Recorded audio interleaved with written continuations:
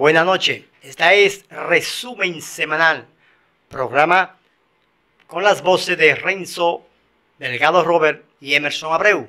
Buenas noches. En esta ocasión empezamos durante este programa a informarles, a comentarles y a darle una eh, panorámica de los acontecimientos acaecidos en la anterior semana.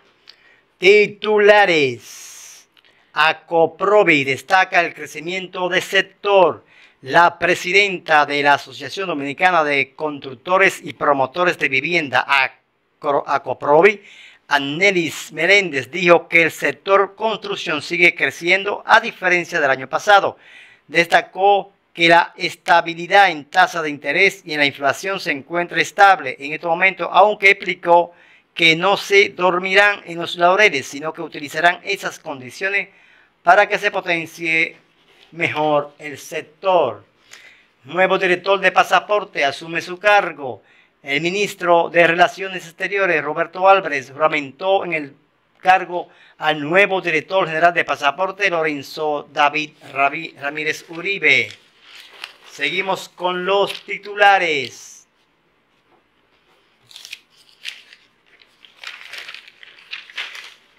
Desigualdad social, la razón principal para salir de República Dominicana, según reportaje de la BBC de Londres. El medio señaló los motivos por los que los criollos siguen migrando.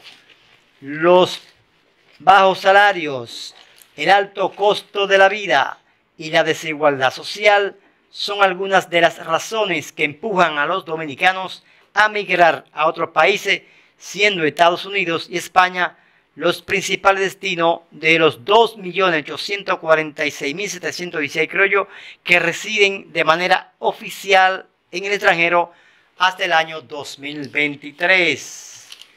Terminamos con los titulares. La noche larga de los museos es anunciada por el Ministerio de la Cultura durante los días 15 y 16 de junio. El acceso gratuito para los visitantes y con una programación que va de 10 de la mañana a 10 pm el día sábado y de 10 am a 6 pm el domingo. Al Horford, baloncetista dominicano que viste la camiseta de Boston, se perfila como el primer dominicano en ser parte de un equipo ganador en la NBA. En el cuarto juzgado de la instrucción del Distrito Nacional se reparten los bienes devueltos por varios de los imputados en el caso de Calamar, en medio de protesta de los abogados de los otros acusados que no hicieron los arreglos con el Ministerio Público y que dicen que merecían igual trato para ellos. La inseguridad cobra en la ciudadanía, en las instituciones y en todo el sentir de los dominicanos una cuota importante de la tranquilidad en la que vivían los dominicanos años atrás. Eh, de este inicia embargo a Telemicro por deuda millonaria por más de 200 mil 200 millones por suministro eléctrico no pagado. La medida incluye el embargo retentivo de bienes y fondos en diversas entidades financieras y empresas. Bueno, Renzo, después de esos titulares vamos a comenzar a, a, comentar algunos temas de interés nacional que fueron de repercusión en la semana que está transcurriendo, que está finalizando. Por ejemplo, sigue pendiente eh, el décimo Congreso del Partido de la Liberación Dominicana y además un hecho importante eh, que es el día a día, que es la inseguridad ciudadana, el feminicidio y todo lo que tiene que ver con la violencia intrafamiliar. Vamos a comenzar a desarrollar lo que es la inseguridad ciudadana. Bueno, la inseguridad ciudadana no solamente del, del ciudadano común, sino también de las instituciones, organizaciones y compañías eh, que muchas veces eh, sus puertas eh, son violadas, son, ah,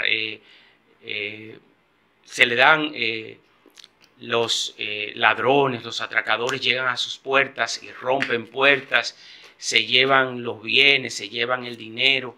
Es decir, hay una, hay una constante que se ha estado eh, viendo en los últimos 15 días, 21 días, y es, eh, son muchas eh, organizaciones, muchas instituciones, muchos comercios que han visto su accionar un poquito diferente porque han sido víctimas de atracos, de asaltos en sus, en sus negocios. tú vas por cualquier barrio, Renzo, por cualquiera, tú puedes coger el que tú quieras y prácticamente más de un 50% tú ves los negocios con rejas, con hierros. Eso es una señal de que la gente se siente muy insegura, de que hay un nerviosismo, de que no hay tranquilidad. Cuando no se atraque en la calle, se atraca en los negocios. Y cuando no hay feminicidio, que son violencia intrafamiliar, también ocurre que hasta bancos están atracando. Es decir, que el país vive, y no desde ahora, desde hace varios años atrás, una situación de inseguridad, pero en este gobierno se ha, se ha seguido agravando y más tomando en cuenta que eh, estamos cuatro años con la reforma de la policía y no se ven los frutos. Podríamos decir que una gran cantidad de policía ha ido tomando cursos, se le ha ido entrenando, pero el pueblo todavía está muy preocupado con la situación de la inseguridad. Ya tuviste lo que pasó hace 15 días con el Banco de Reserva que fue atracado y una oficina del Banco Popular en la Gregorio Luperón, eh, cerca de San Jerónimo, cerca, cerca, de, sí, cerca del kilómetro 9, esquina Olof Palme, fue atracado. Bueno, eh, realmente eh, la policía ha estado detrás de los supuestos ladrones se han estado investigando eh, la relación de estos con algunos familiares, pero eh, todavía está muy difuso la, eh, las investigaciones. Esperamos que en los próximos días no solamente esta investigación ya sea plasmada en un, y motivada en un expediente, que se le lleve a cabo a esos eh, ciudadanos eh, dominicanos. Esperamos que estén, que estén prestos a darle información porque la policía también ha estado haciendo registro en barrios y no se ha dicho la razón por la cual está haciendo esos registros. No sé si tú sabes. En ese, en ese atraco, el Banco Popular, hay dos muertos, me parece. Hay dos que han sido también ya eh, puesto a sí, detenido, que ya se entregaron, pero hubieron dos muertos y lo que yo llamo intercambio de disparos. Pero todo el mundo sabe que esa, esa denominación intercambio de disparos se viene ya implementando en este gobierno de manera sistemática.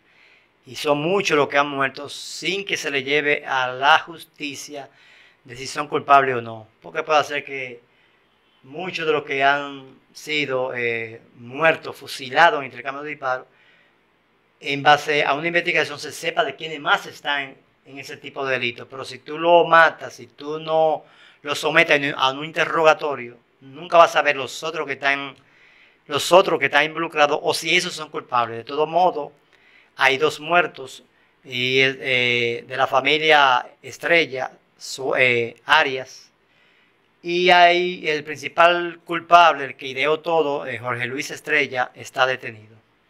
Bueno, eh, vamos a dar paso al otro tema. el otro tema es eh, lo que fue la incidencia, lo que ocurrió y lo que sigue latente, el décimo Congreso del Partido de la Liberación Dominicana, que ese partido está en un proceso de, de reforma, vamos a llamarlo así, de análisis del proceso electoral pasado.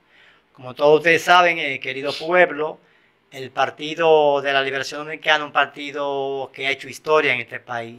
50 años de fundado, fundado por el líder más, uno de los líderes más serios que ha tenido la República Dominicana, fundado por un excelente organizador, un talento de político dominicano como, como fue Juan Bosch, que fue que fundó el PRD, fundó el PLD, entonces ese partido está supuestamente o está en un proceso de análisis eh, donde tiene que rebasar esa crisis, esa supuesta crisis, tiene que rebasarla para que pueda recomponerse y seguir su crecimiento, porque todos ustedes saben que en el 16 sacó más de, alrededor del 62% de la votación y ocho años después saca un 10%. Bueno, eh, esperamos que ambos, eh, que el Congreso del PLD eh, se, que se adelantó, ¿verdad? Se, adelantó, precisamente por los resultados electorales y por la premura, la urgencia de, y la presión de abajo de que quieren una revisión, quieren una reforma, quieren, quieren analizar el proceso. Y se dice que incluso hay grupo interno o espacio político, pero no dan la cara de que quieren de que los liderazgos viejos se echen a un lado y venga y que el nuevo Congreso renueve esa, esa política. Vamos a hacer una pausa y en breve continuamos con nuestro programa.